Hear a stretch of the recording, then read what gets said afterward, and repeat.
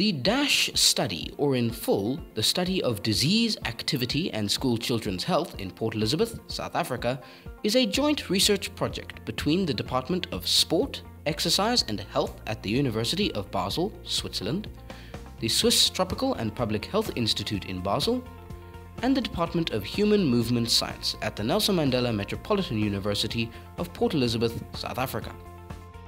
The aim of the project is to assess the burden and distribution of communicable diseases and non-communicable chronic conditions among school-aged children in selected schools near Port Elizabeth, South Africa, and to assess their impact on children's cardiorespiratory physical fitness, cognitive performance, and psychosocial health. The DASH study is funded by the Swiss National Science Foundation and to the National Research Foundation of South Africa. This is a three-year study which has been conducted between 2014 and 2016, with the project wrapping up in 2017. Ethical clearances were obtained from the various organizations in South Africa and Switzerland, and permission to do the study was granted by the Eastern Cape Departments of Education and Health. Lifestyle, physical inactivity, for example, and nutritional issues, for example the consumption of high sugar and salt diets, have emerged as new leading risk factors for human health, accounting for 10% of the global burden of disease, as expressed in disability-adjusted life years. Studies have revealed that the South African population has shifted towards a disease profile similar to that of Western countries, with increasing numbers of deaths attributed to chronic diseases. Despite this shift, however, infectious diseases that are intimately connected to poor living conditions and poverty continue to occur in marginalized communities and affect school-aged children in poor neighborhoods in South Africa. In-depth studies pertaining to this double burden of disease provide new insights into their impact on children's physical fitness and psychosocial health. Furthermore, the data from such studies are required to tailor setting-specific interventions to improve children's health and well-being. Well done! There are two phases of the study. The first phase involves a cross-sectional survey and implementation of a cluster randomized controlled trial and includes the baseline testing of 1,000 grade 4 school children aged between 9 and 12 from disadvantaged primary schools in the Port Elizabeth area. A total of 103 quintile 3 primary schools from disadvantaged communities in Port Elizabeth were invited to be considered to participate in the study. The project documents were hand-delivered to each of the 103 schools, due to many schools not having working telephones, fax machines, or emails. Written responses were received from 25 schools. The study leaders undertook to be inclusive and invited interested principals, grade 4 teachers, and school governing bodies to an information meeting in October 2014. Eight schools were finally included, with selection based on grade 4 class sizes and geographical location. Permissions from parents and guardians of approximately 1,200 children from these eight schools was sought. Meetings were held explaining the sensitive nature of the clinical part of the study. The fact that urine, stools, and blood were to be collected necessitated that parents had to be well informed to overcome anticipated prejudices or concerns. The baseline testing commenced in February 2015. The study team consisted of postgraduate students from the University of Basel and from the Nelson Mandela Metropolitan University. They were assisted by biokinetics interns and NMMU students from the departments of Human Movement Science, Psychology, and Nursing. The team spent two to three days at each school performing a series of tests. Day 1 consisted of the clinical examination, which included detailed history taking and physical examinations to assess for presence and complications of infections. For the detection of anemia, the hemoglobin concentration was measured with the HemoCue HB301 system. For the detection of type 2 diabetes, the blood glucose level was measured once using the Accu-Chek blood glucose monitoring system.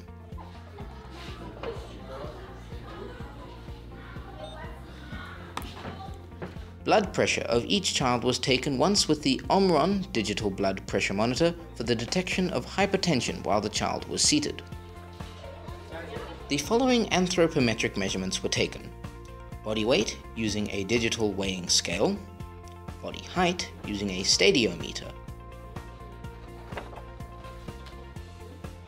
skin folds measured at two sites, namely triceps and subscapular. Various standardized questionnaires were used to assess the children's psychosocial health. All children complete a questionnaire that contains aspects of psychosocial health and physical fitness. The questionnaire is filled in in the classrooms and it takes about three hours to complete. Most children struggle to read, so they depend on their teachers' auditory instructions or from the instructions of community members that speak their home language. Usually we have three to four helpers or community members that support and encourage the children. Okay, time. The first part of the questionnaire is the D2 test, which is a test of attention and it measures the children's cognitive performance. The second part of the questionnaire gathers information about the socioeconomic status as well as hygiene and home life.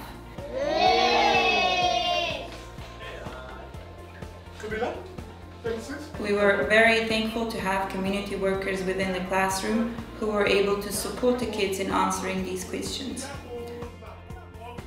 The last part covers questions from the HBSC study and provides insight on the physical activity of each child in the last seven days, their leisure time activity and the way to and from school.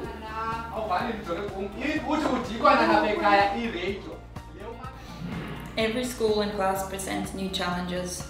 Um, in some of the classes there are up to 58 children in a class and they have to share benches and desks. Nonetheless, they are eager to come to school and learn every day. Day 2 consisted of physical fitness testing using the Eurofit fitness testing battery.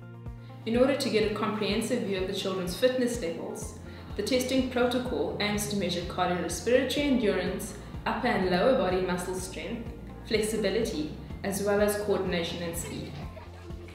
All tests were explained in the children's home language and were demonstrated prior to the children conducting the tests. The 20 meter shuttle run is a running course that is pre-measured and marked out with various color cones. Starting with a running speed of 8.5 kilometers per hour, the frequency of the pre-recorded sound signal increases gradually such that every minute the pace increases by 0.5 kilometers per hour. Level 5, 4.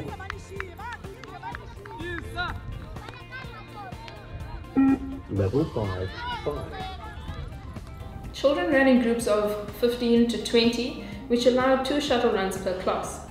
The children ran with kids coaches who set the pace and four children were assigned per kids coach to record the number of laps completed, as well as to encourage the children and ensure that they ran correctly. The 20 meter shuttle run is a measure of cardiorespiratory endurance. The children thoroughly enjoyed this test as they were able to cheer their classmates on as they participated in the test.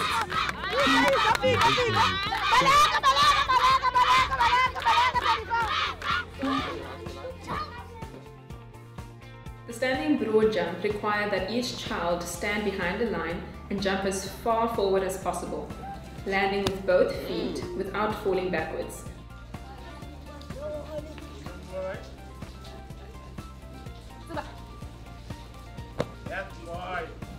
The distance of the jump was measured from the starting line to the heel of the, of the most back foot. This standing broad jump test is a measure of lower body strength.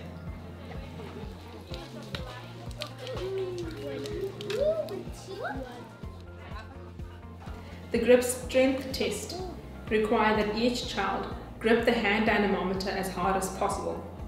Each child was given three trials, beginning with their dominant hand, and a 30 second break was provided between trials.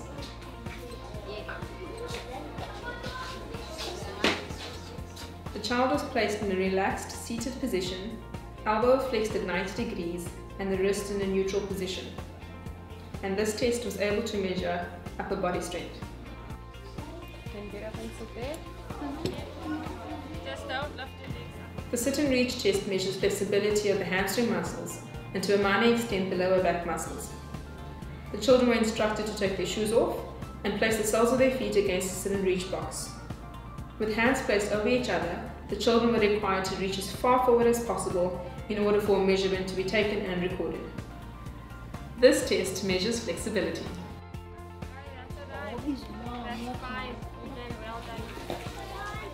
The jump sideways test requires children to jump laterally with both legs as many times as possible within 15 seconds across a wooden bar, which measures coordination and speed of the leg muscles.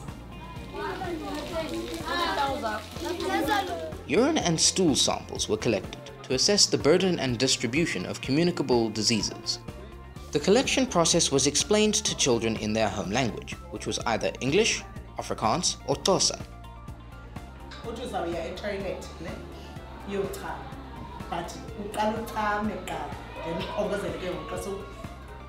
Each child was given a small plastic container which was clearly labeled with a unique identification number. They were asked to fill up half the container with their own stool at home and to bring it to school for collection the following morning. Urine samples were collected from each child while they were at school. The urine and stool samples were taken to the laboratories of the Department of Medical Laboratory Sciences at the Nelson Mandela Metropolitan University, where they were analyzed. Infectious diseases that are closely related to poverty may be found in disadvantaged schools in South Africa. Consequently, these infections may um, uh, have a negative impact on cognitive abilities and therefore may affect the student's school performance. First, a single urine specimen will be collected from each child and analyzed visually for macrohematuria and then tested with reagent strips for the presence of blood in urine as a proxy for schistosoma hematobium.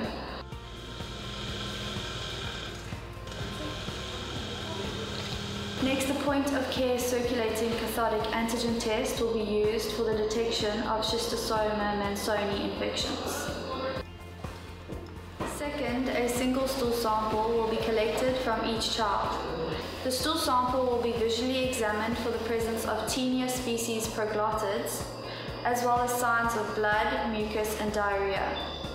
Then duplicate Kato-Katz thick smears will be prepared from each stool specimen. Possible species to be detected under the microscope include the three main species of soil transmitted helminths, Ascaris lumbricoides, hookworm, and Trichuris trichiura. Other species will also be detected, such as Fasciola hepatica and Schistosoma mansoni. For the detection of Cryptosporidium species and Giardia intestinalis, a Cryptogiardia Duo-Strip rapid diagnostic test will be performed on each stool sample. This method is used to detect is also used to detect Helicobacter pylori. These tests are also diluted with a commercialized buffer. Based on the results of the laboratory testing, affected children were treated for soil transmitted helminth infections, STH, based on the World Health Organization's treatment guidelines. When STH is less than 20%, infected individuals were provided treatment on a case by case basis. When STH infection is equal to or more than 20%, but less than 50%, mass treatment with a single dose of albendazole 400 mg was administered. When STH infection was equal to or more than 50%, mass treatment was done and should be repeated within the same year. The second deworming is being planned for the end of July 2015. A total of 67 school children was referred to the local clinic based on laboratory results or physical examinations performed by the nurses. Predominant reasons were either a cryptosporidium or Giardia positive infection in combination with functional signs such as diarrhea, bellyache, or blood in the stool, special lung sounds like creps and wheezing, hypertension, ringworm, and tachycardia.